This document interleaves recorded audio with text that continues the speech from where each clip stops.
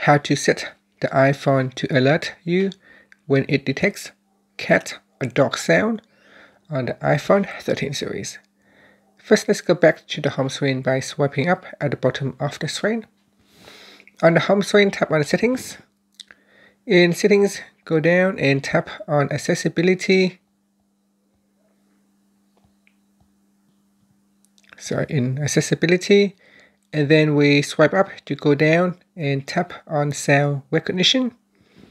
Make sure at the top in Sound Recognition you turn on Sound Recognition at the bottom here, tap on Sounds, then go to the Animals section and tap on Cat. If you want to turn on cat sound, tap on the toggle button to switch it on, or you can tap on the toggle button to turn it off.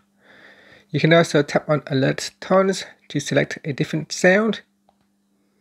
By default, it is set to tritone. You can choose Alert if you want.